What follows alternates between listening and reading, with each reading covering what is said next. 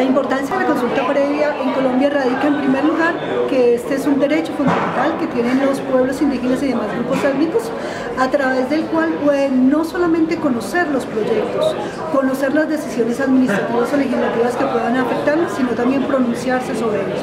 estableciendo cuáles son los impactos que se puedan generar, pero también las maneras de mitigar o compensar dichos eh, impactos. las consultas previas se están haciendo especialmente en los últimos años. Hemos tenido todo un de aprendizaje alrededor de la consulta previa. Hemos encontrado consultas previas que han sido realizadas de manera muy desafortunada, pero también hemos encontrado otras que han sido muy interesantes, donde la comunidad ha tenido la oportunidad de pronunciarse sobre los proyectos, de conocerlos, establecer cuáles son sus conveniencias y por supuesto también eh, en medio de todo dar elementos para hacer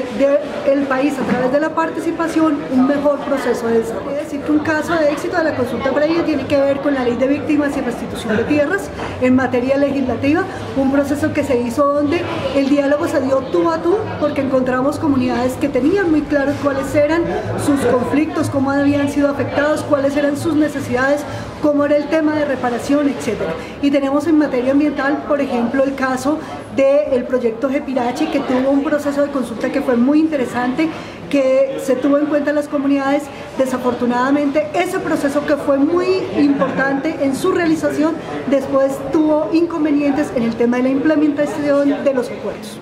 URRA ha sido prácticamente una catástrofe que hemos tenido en el país, una consulta previa muy mal elaborada y otro caso muy representativo es el caso de los Hugo, que no obstante haber, sido, eh, haber pasado hace 20 años, sigue pendiente ese conflicto sin resolver de fondo. Y a eso debemos que tantos años después todavía los pueblos indígenas siguen demandando, siguen demandando por el respeto de su territorio, por el respeto de sus derechos y por supuesto por el respeto de sus culturas. El Estado tiene que prepararse para el tema de consulta previa. Encontramos, por ejemplo, que hay alcaldes que no entienden de estos derechos, encontramos que hay funcionarios que están muy interesados en hacer procesos que son muy rápidos, que no atienden a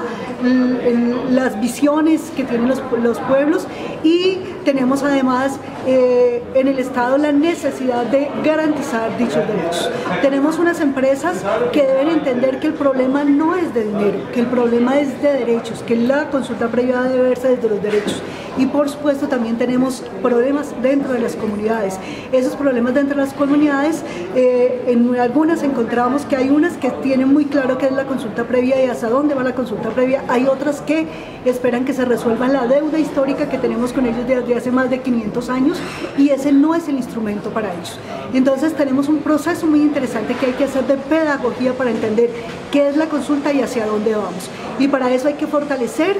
el Estado en materia de consulta previa, hay que fortalecer las organizaciones en materia de consulta previa y también establecer con las empresas qué, eh, qué es la consulta previa, cuáles son los derechos que pueden verse vulnerados para que podamos hacer procesos transparentes, idóneos, que nos permitan avanzar de la consulta previa hacia el consentimiento y hacia el logro de la paz en Colombia.